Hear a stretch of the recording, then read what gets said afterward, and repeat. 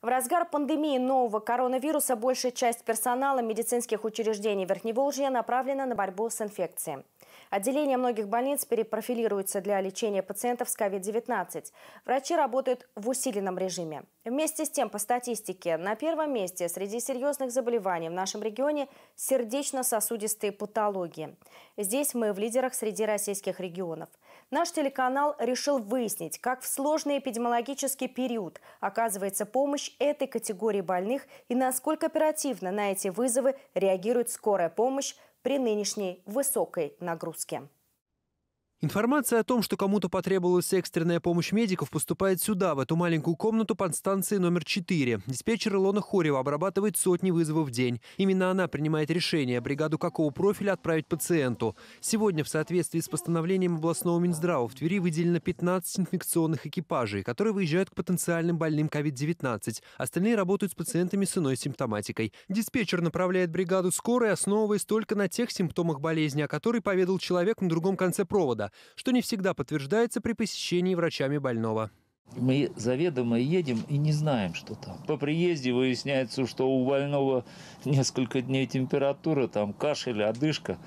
Врач Валерий Церковников в скорой помощи работает вот уже 40 лет. Его бригада к числу инфекционных не относится. Выезжает в основном к пациентам с сердечно-сосудистыми заболеваниями. Контактировать чаще всего приходится с людьми пожилого возраста, а потому особое внимание к мерам предосторожности. На врачах одноразовые халаты, медицинские маски и шапочки. Средства защиты, рассказывает врач, он не снимает даже в минуты отдыха. В любой момент может поступить вызов, и времени надевать их снова просто не будет, ведь малейшее промедление, как известно, может грозить пациентам с сердечной патологией смертельной опасностью это не температура, это не что-то там, э, давление там обычное.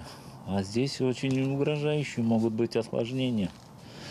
Вплоть до внезапной сердечной смерти. Если острый коронарный синдром то, или инфаркт миокарда, то это чревато тем, что мы можем потерять пациента.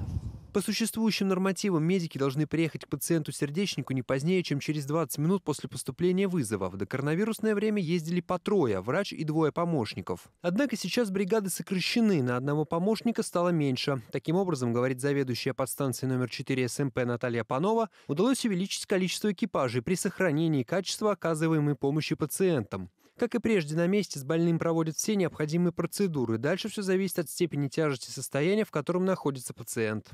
Если больному требуется значит, оперативное вмешательство, удалить тромб надо или раздвинуть сосуд, стенд поставить, то больной маршрутизируется в областную клиническую больницу, сосудистый центр. Если больному не показано вот это экстренное вмешательство, то такие больные маршрутизируются в кардиологические отделения больниц, к которым они относятся.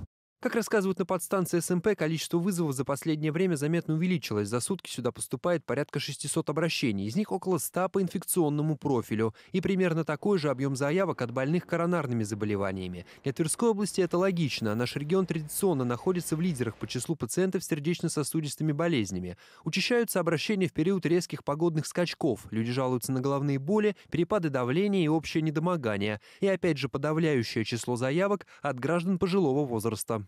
Это люди, у которых есть артериальная гипертензия, это люди, у которых есть ишемическая болезнь сердца, это люди с сердечной недостаточностью, это люди, уж немножко как бы расширим, э, это люди с хроническими заболеваниями головного мозга. Таким больным стоит быть предельно внимательными к своему здоровью в ближайший месяц. По прогнозам синоптиков, май будет крайне неспокойным с точки зрения перепадов давления и температур. Столбики термометров будут то подниматься, то вновь падать, а это традиционно чревато последствиями для сердечников. 16 мая мы уже днем начнем более ожидать теплый воздух, потому что вот эта холодная масса воздуха постепенно начнет прогреваться, и мы повысим температуру дневную до 10-15 градусов.